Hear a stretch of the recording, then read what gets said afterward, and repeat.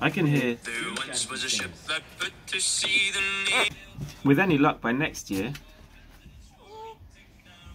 we'll get COVID done. We don't balls up again. It's going to be great, all thanks to Brexit. Carpe diem, carpe fisca. Looking good.